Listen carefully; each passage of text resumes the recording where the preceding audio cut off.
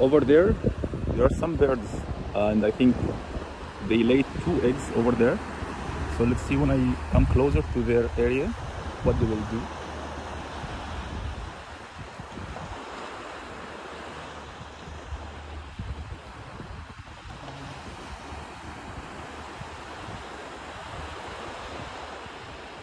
I cannot see any of them at the moment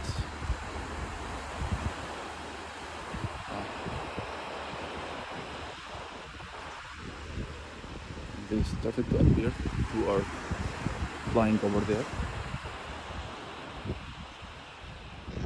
Yeah this is the one. He's trying to attack to defend the, the eggs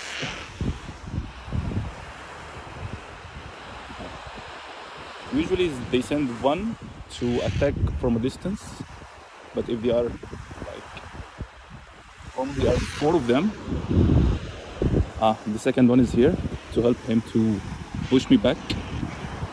Yeah. Uh-huh.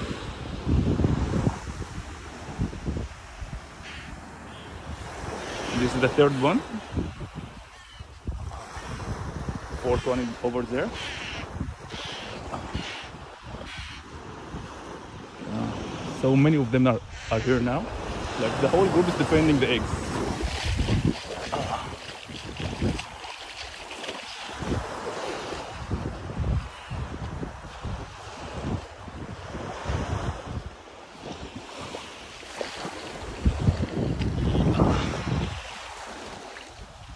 Honestly, I have to push them back. You can see there.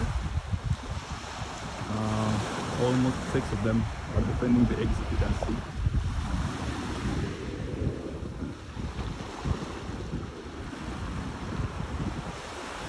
If I try to come closer, they they attack me again.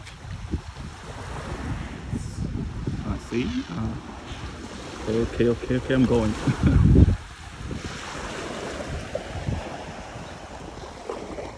Those birds are most of them are peaceful uh, unless you come closer to their eggs. Uh, you can find them anywhere else, but when you come to the the, um, the laid eggs area, they will try to attack you. And one day i think a few weeks back i got one guest. He got injured because these uh, like one of, the, of those one of those birds hit him in the uh, in his forehead. It's not serious but still they can attack you. One thing that i love about maldives that all people here respect the the nature. They don't interrupt the nature. Uh, so we can find many birds, many animals here living peacefully with, with, with people. And if you try to interrupt those, uh, those animals in general, they may attack you, they may run. Uh, and that's what happened with, with those birds.